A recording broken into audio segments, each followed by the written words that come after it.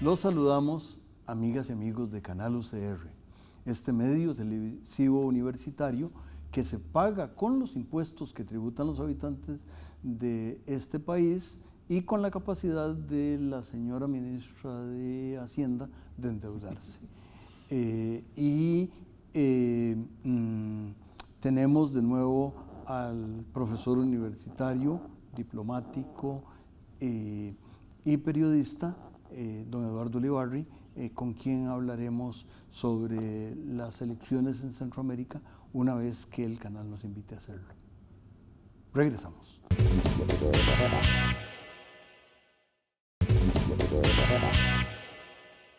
Continuamos, amigas y amigos, con el privilegio de tener a don Eduardo Olivarri con nosotros, eh, con ustedes y conmigo, eh, y tenemos lo que yo llamé dos y medio elecciones. Eh, hay dos presidentes electos y hay una incógnita después de una primera vuelta de una elección en los eventos electorales de Centroamérica. Nos, ¿Nos cuenta su lectura de los procesos, don Eduardo? Sí, en realidad hay dos presidentes que fueron elegidos y además tomaron posesión. me refiero a el Salvador, Nayib Bukele, las elecciones fueron en febrero, la asunción de la presidencia fue el primero de junio, luego en Panamá, Laurentino Cortizo, las elecciones fueron en mayo, creo que el 6 de mayo, el 5 de mayo, y la toma de posesión fue el primero de julio, y luego las elecciones en Guatemala, que fueron el 16 de junio, eh, que tienen que ir a una segunda vuelta el 11 de agosto, en la cual se van a enfrentar Sandra Torres, ex primera dama y además, bueno, candidata de la Unión Nacional de la Esperanza y el, señor em, Alejandro Yamaetti, quien eh, es el candidato de un partido cuyo nombre en este momento no, recuerdo. Yo Tal vez una nota de pie de página bajita es que eh, me parece que eh, Guatemala es el país que tiene más capacidad de inventar nuevos movimientos y nuevos partidos, eh, tal vez a partir de cosas muy, muy antiguas, pero los, los, los, partidos tradicionales no es algo que me parece que en Guatemala existe. Sí, Alejandro Yamatei es como se llama el que se disputará la presidencia con Sandra Torres. Sí, efectivamente, Guatemala tiene una gran capacidad para crear, recrear, fundir, hacer desaparecer partidos, pero lo que es el eje del sistema político y la distribución del poder realmente no cambia. Y de eso son ejemplo estas últimas elecciones, porque la candidata, digamos que no era afín a ninguno de los sectores de poder consolidados, que era Telma Aldana, ex fiscal general de Guatemala y además una valiente y eficaz combatiente en contra de la corrupción, fue eliminada de la contienda por una resolución sumamente cuestionable de la Corte de Constitucionalidad de El Salvador y eso le impidió participar en las elecciones, a pesar de que tenía, y probablemente fue por eso que la eliminaron, una enormes posibilidades de por lo menos ir a una segunda vuelta. Entonces, ¿quiénes quedaron?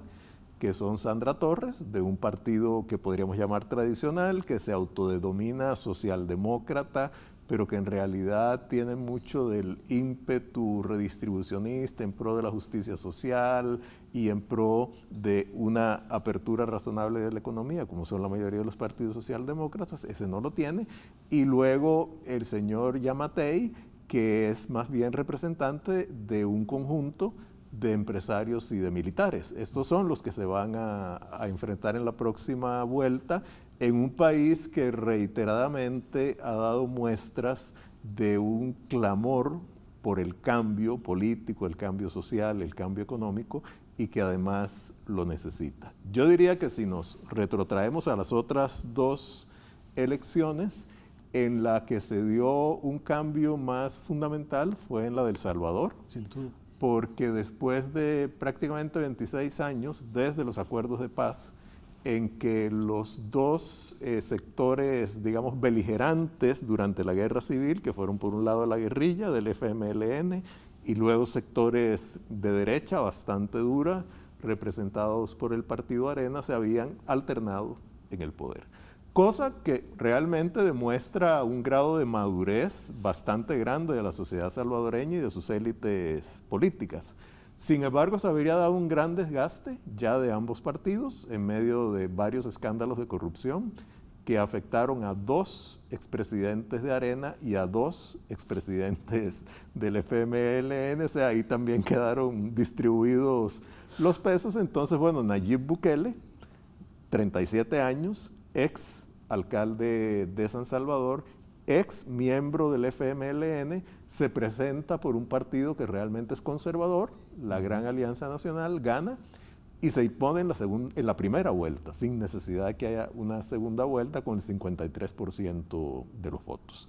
Eh, su gran mensaje es que él es distinto a los demás, que no es más de lo mismo. Ese es un lema que nos hace cierto eco en los oídos aquí en Costa Rica. Y hay que ver cómo se desenvuelve en el, en el gobierno. Por el momento se ha caracterizado por una frenética activación del Twitter, lo cual no necesariamente es bueno desde mi punto de vista. Tiene el gran desafío de que en el Congreso no cuenta con mayoría. Entonces, mientras no haya elecciones de medio periodo, que tengo entendido que serán en el 2021, él tendrá de alguna forma que negociar o con Arena o con el FMLN o con ambos. En Panamá, yo diría que ahí se manifestó lo que ha sido algo tradicional en la política panameña, que es que gana un candidato de la oposición, en este caso ganó Laurentino Cortizo, que es del Partido Revolucionario Democrático, digamos un partido de la herencia de Omar Torrijos, que también se autocalifica como socialdemócrata, que sustituyó a Juan Carlos Varela, que era del partido panameñista más de derecha. Lo interesante en estas elecciones fue que a pesar de los gravísimos cargos de corrupción en contra del expresidente Ricardo Martinelli, su partido, el Cambio Democrático, tuvo una votación muy alta porque inicialmente las encuestas le daban a Cortizo una enorme distancia sobre el candidato de cambio democrático, Rómulo Rux, pero en realidad la distancia fue mínima porque Cortizo obtuvo el 33% de los votos y Rómulo Rux obtuvo el 31%. En Panamá no hay segunda vuelta, simplemente el que más votos tiene es el que gana. Entonces, Aquí estamos en una situación interesante porque Panamá tiene una política bastante estable, pero se ve que también hay cierto desgaste del sistema político. Un dato muy interesante es que un candidato independiente, posibilidad que existe en Panamá, inscribirse como candidato independiente a la presidencia, Ricardo Lombana quedó en tercer lugar con el 19% de los votos, que no es algo desdeñable y yo creo que esto lo proyecta él al futuro. Es una persona joven, inteligente, eh, yo diría que bien intencionada, capacitada, lo proyecta para el futuro político de Panamá. Claro, y además eh, destacando ese hecho eh, que usted mencionó, Eduardo, de que con frecuencia en Panamá gana la oposición, de, manera que, que, eso también da la oportunidad de que alguien que ya que ya tiene un reconocimiento, eh, puede ir dentro de cinco, años, creo que es el periodo allá. Exactamente. Eh, sí, en realidad en Panamá, desde que regresó la democracia a finales de los años 80, siempre ha ganado la oposición. Esa es la, tradición. Y bueno, y, no hay reelección inmediata, por lo menos. Entonces, sí, es un, un sistema que permite como mayor flujo de las élites políticas en el poder. Y si algo se caracteriza es que yo diría que por lo menos los planteamientos de política económica e incluso de política social entre los distintos partidos son bastante similares. Los grandes temas de debate en Panamá, por lo menos en estas últimas elecciones, fueron la corrupción, que realmente es endémica en muchos ámbitos de la vida pública panameña, y también aspectos ya como más de vida cotidiana, por ponerlo en esos términos.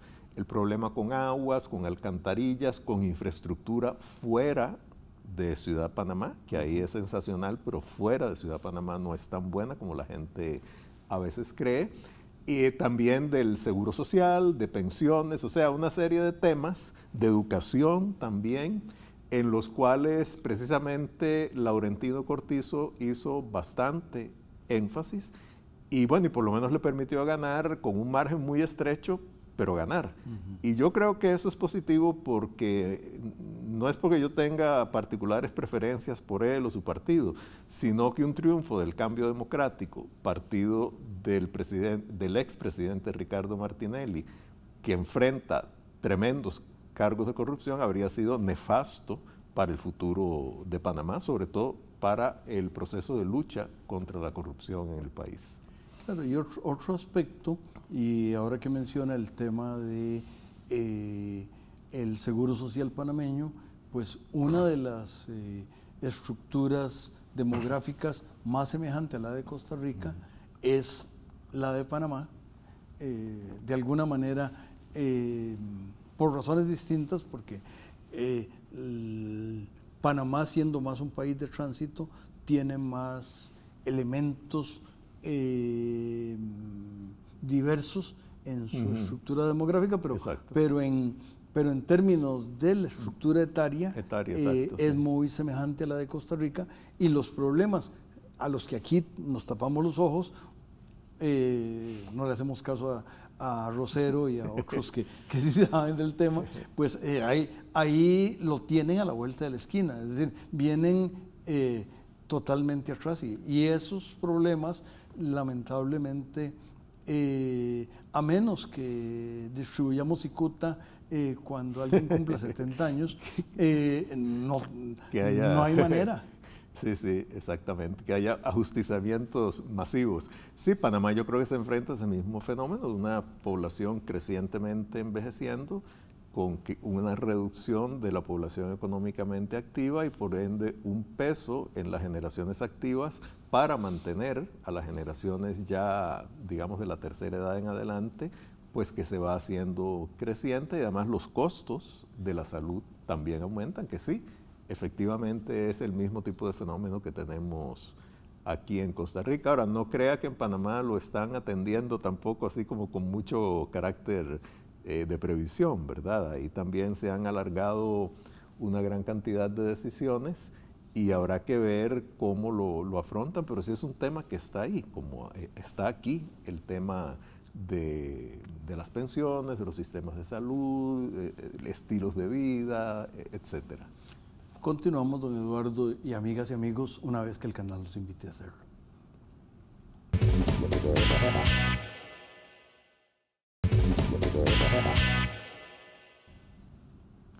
Continuamos, amigas y amigos, conversando con el eh, periodista, diplomático eh, y profesor universitario, don Eduardo Olivarri, que nos, nos ha eh, mm, informado de los eventos en estos tres países con elecciones recientes.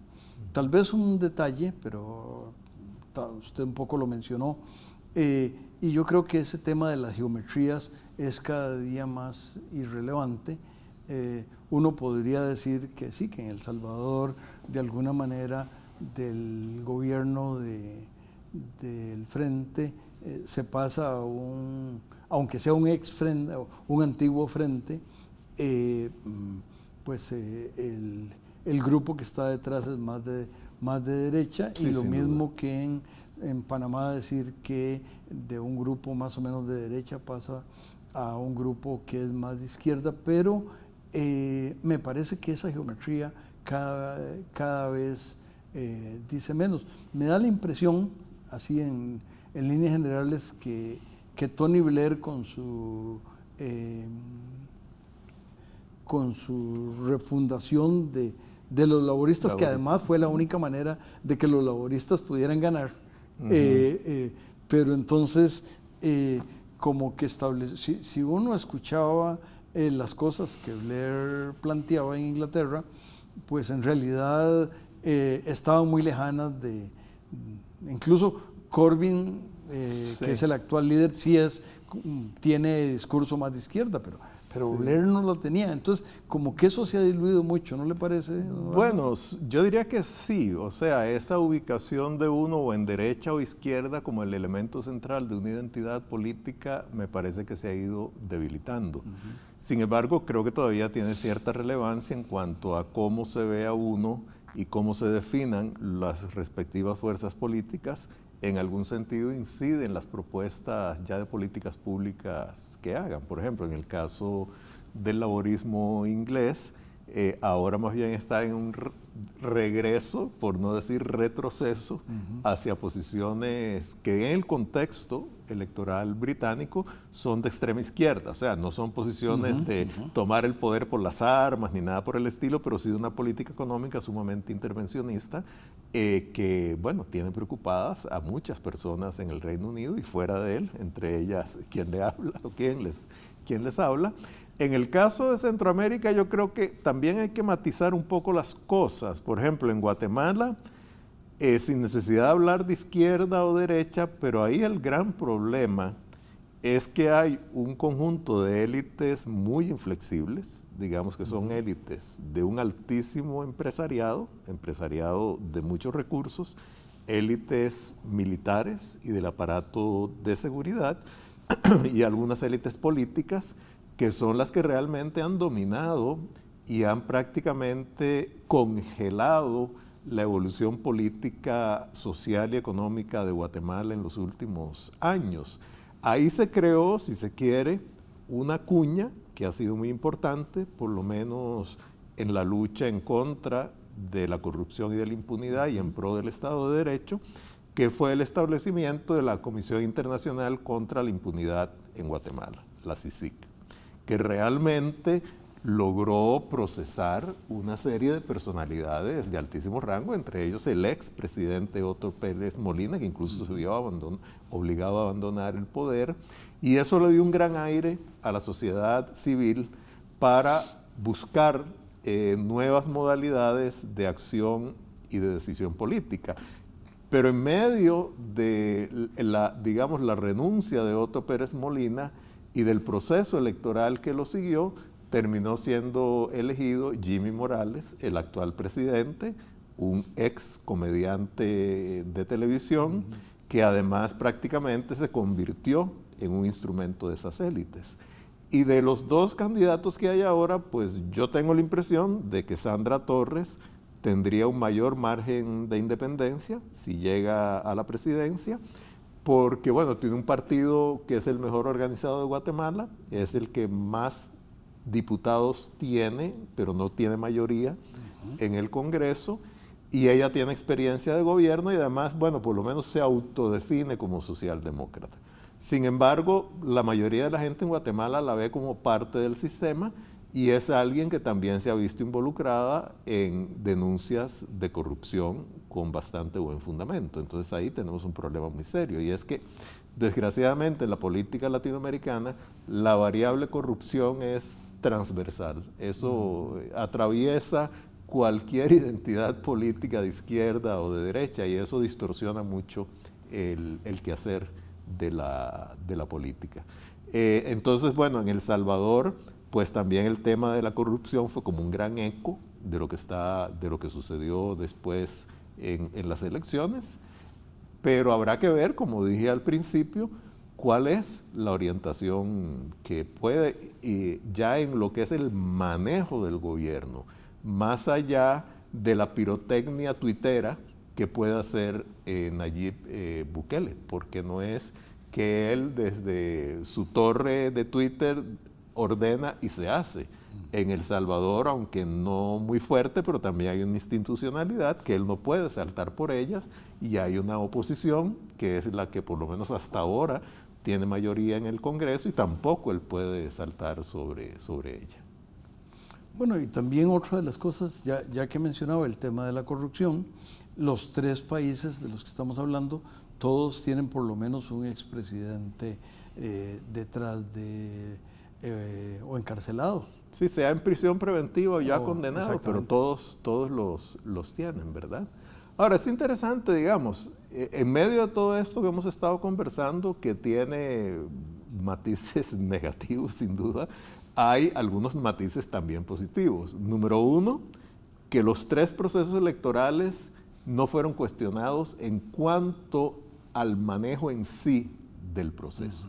Digamos, en Guatemala fue cuestionada y con toda razón el impedimento que le pusieron a Terma Aldana y también a una hija del ex dictador Efraín Ríos. Montt, cuyo nombre en este momento he olvidado. A ambas les impidieron participar. Digamos, pero si uno hace eso a un lado, el proceso en sí fue un proceso democrático y honesto. Lo mismo, bueno, honesto en cuanto al proceso electoral, no necesariamente el, trasfondo. Contar los votos. Exacto, la maquinaria. Eh, en el caso de El Salvador y de Panamá, también. Y bueno, y otra elección centroamericana, que fue la nuestra, pues con mayor razón, ¿verdad? En, el mismo, en el, ah, no, perdón, la nuestra fue en el 2018, disculpe. Eh, pero bueno, eso es una, una situación positiva. La otra es que, bueno, hay muchos sectores que se manifiestan, que actúan. Yo diría que en el caso de El Salvador fue más evidente que en el caso de Panamá y de, y de Guatemala. En el caso de Panamá, como también comentaba al principio, la emergencia de Ricardo Lombano, un candidato independiente, me parece que también es muy, es muy interesante.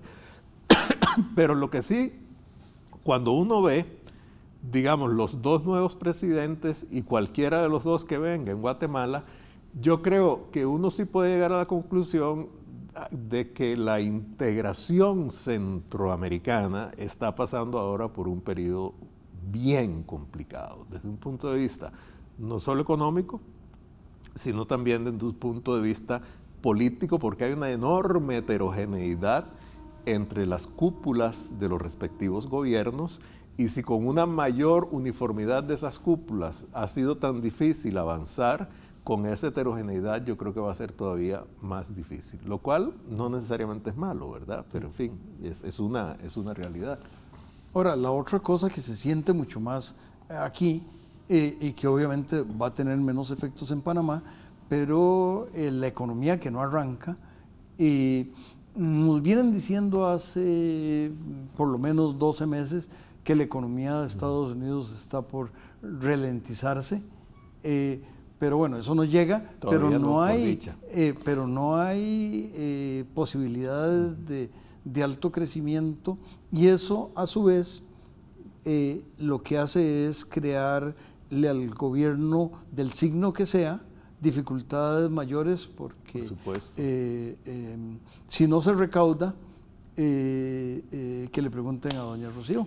Bueno, y además si no se recauda por un motivo de desaceleración económica, eso implica que también hay más desempleo, ¿verdad? Y eso es otro problema muy, muy serio. Ahora, desgraciadamente, quizá exceptuando la economía de Estados Unidos, que todavía mantiene, vamos a ver hasta dónde y hasta cuándo, un proceso de crecimiento razonable, y es nuestro principal mercado, el resto de las economías internacionales estamos bien en un proceso, por lo menos, de, no de decrecimiento, sino de pérdida de dinamismo. Y eso, bueno, se vio hace poco con el anuncio del gobierno chino en el sentido de que su crecimiento en el segundo trimestre de este año, en lugar del 6,4 proyectado, 6,2.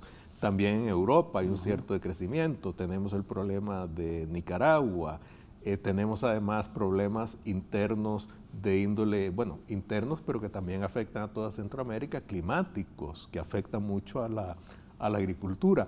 Creo que Panamá, volviendo a, nuestro patio, es un socio sumamente importante para Costa Rica porque es estable, porque hay una gran coincidencia de objetivos y de percepciones en la política, en la economía y en la sociedad porque es una economía bastante complementaria de la nuestra y porque en el ámbito eh, interamericano es una de las economías más dinámicas, entonces es sumamente importante para nosotros y yo creo que es un vecino que hay que cuidar y con el cual por dicha las relaciones son muy buenas.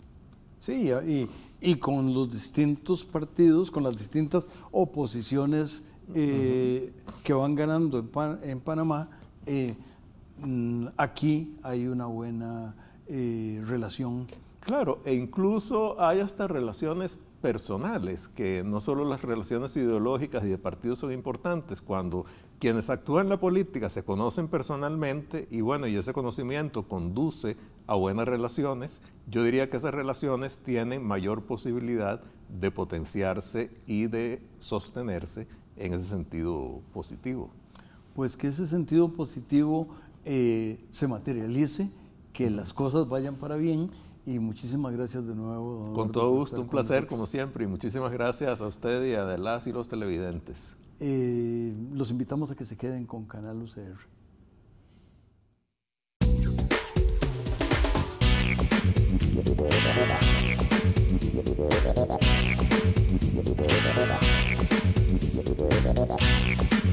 Thank